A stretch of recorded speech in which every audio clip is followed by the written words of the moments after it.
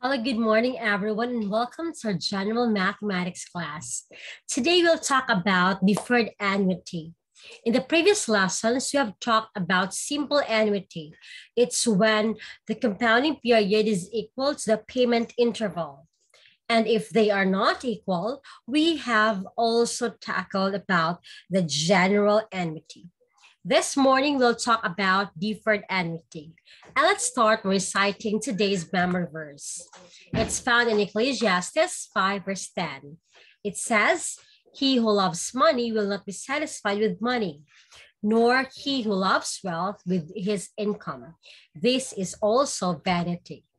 For your visa visitors today, you need to cite a Bible story that involves business you share to us where and when did the business part happen and who were involved.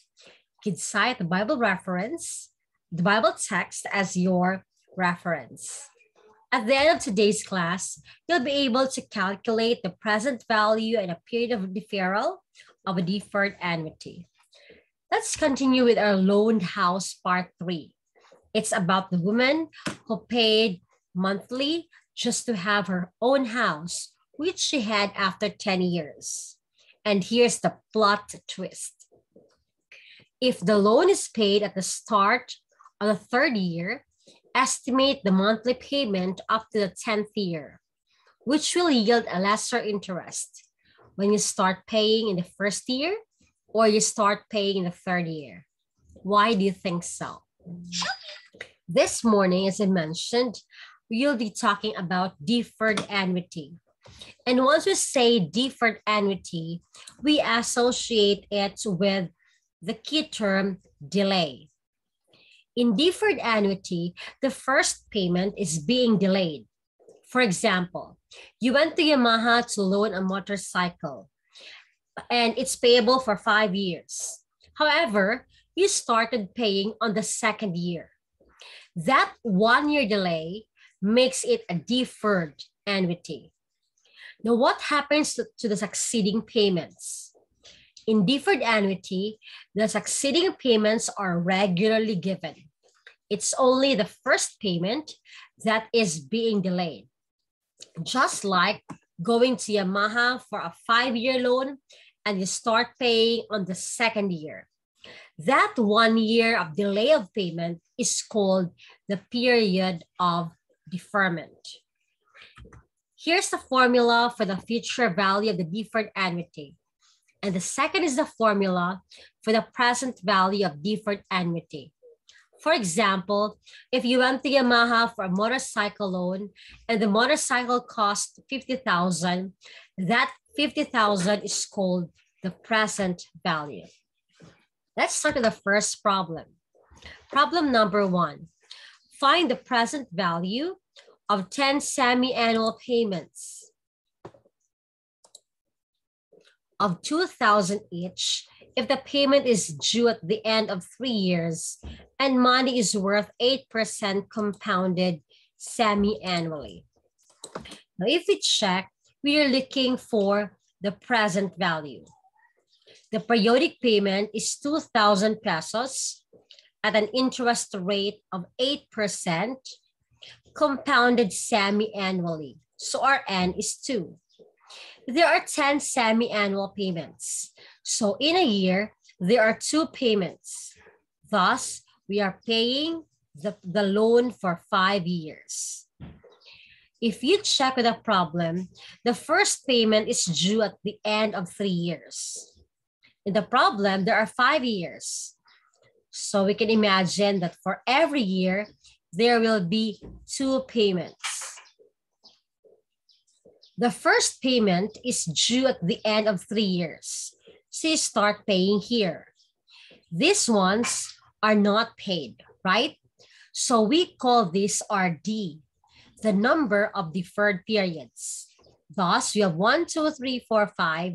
We have five deferred Uh, periods, or we say that we haven't paid for five years, for five payment periods, I mean. Now, for our formula, this is a formula for the present value. So we start substituting. we have our P is 2,000 times, actually one way is to solve for the R over N first. Like here, our R over N is 0 0.08 divided by 2, that's 0 0.04. So every time we see R over N, we write 0 0.04.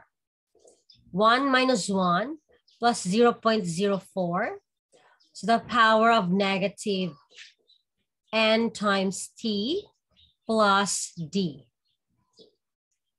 over r over n minus 1 minus 1 plus r over n to the power of negative 5 all over r over n. You could pause for a moment and check with your calculators if you'll end up with the same answer. The answer to this is 13,333.13. This is the present value. You can pause this video if you want to make a review. Let's go to problem number two.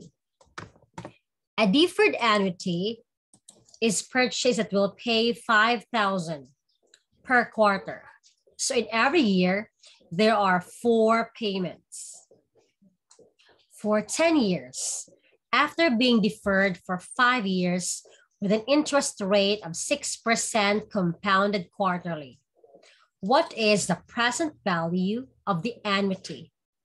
Again, we're looking for the present value and we are paying 5,000 per quarter at 6% interest rate. And it, since it's compounded quarterly, our N is four. We are paying this for 10 years, so our T is 10. Remember that the payment is deferred for five years. And for each year, we make four payments. So for five years times four payments per year, we have 20 deferred periods. Or we say we have 20 payments that were not being paid. We're computing for the present value, so let's substitute our values to the formula. And one way again is to solve for R over N first. That's going to be 0 0.06 divided by 4. The answer is 0 0.015. Let me first check.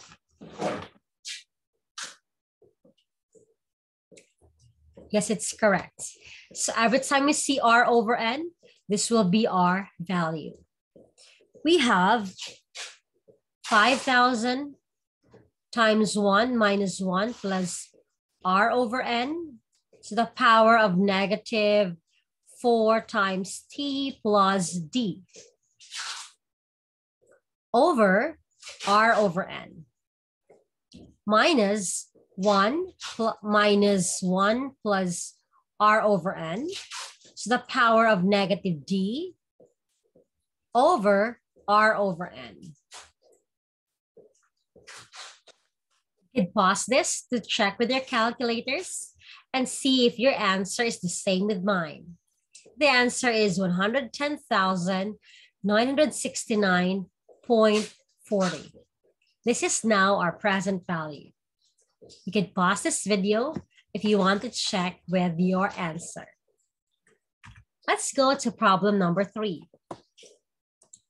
In problem number three, if money is worth 10% compounded quarterly, find the present value of a sequence of quarterly payments of 4,500 each, with the first due at the end of two and one half years and the last at the end of five years. Now, we see our present value is missing and our periodic payment is 4,500. Our interest rate is at 10% or 0.1 and it's compounded quarterly. So our N is equal to four. We are ending the payment in five years. So our T is equal to five. Now, if you see, you're paying for five years, right? And quarterly. So for year one, there were four deferred payments. For year two, another four deferred pay payments. And since we have in two and one half years, there must be another two payments. But since we start paying at the end, so the other one is paid, the other one is not paid. So it means that we have nine deferred periods. We're looking for the present value, so we can write a formula for the present value.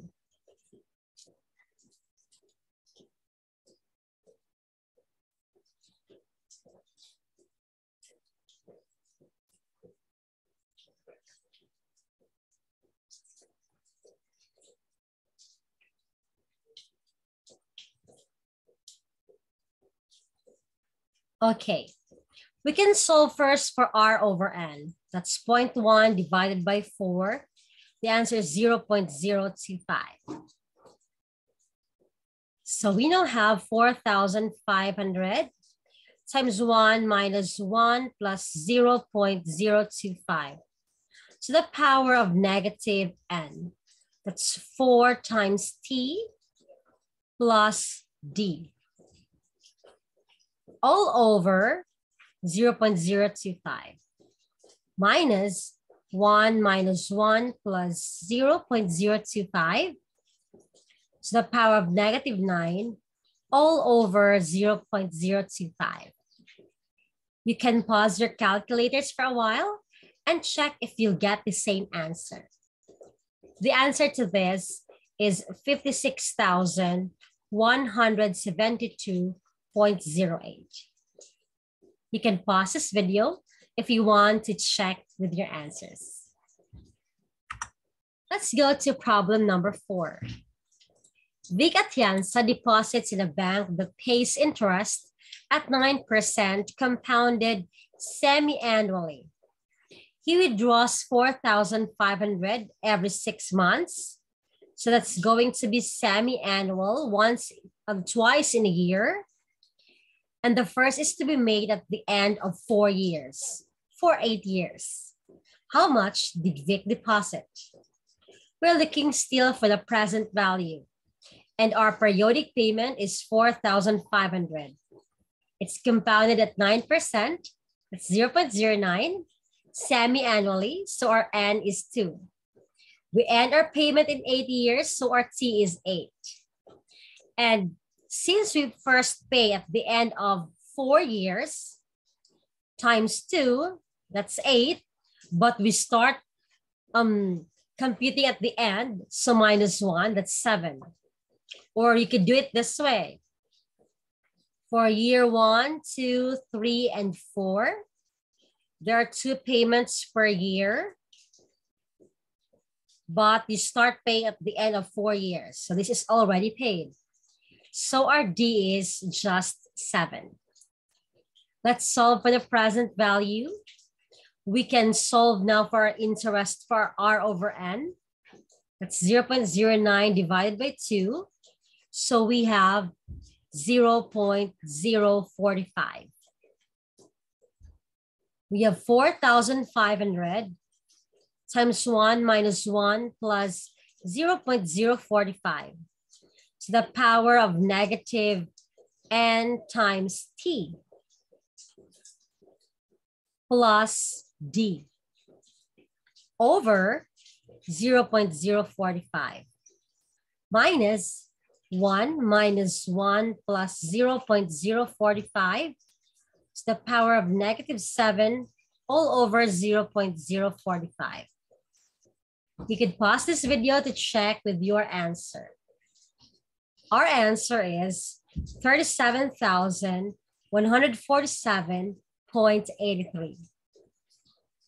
If you have questions, feel free to message me in Telegram. This ends our lecture video for lesson 4.5 on deferred annuity.